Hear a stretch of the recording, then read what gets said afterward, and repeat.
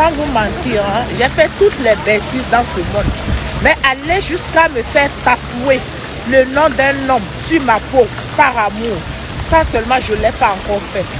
Et je ne compte jamais le faire. C'est de ça qu'il s'agit.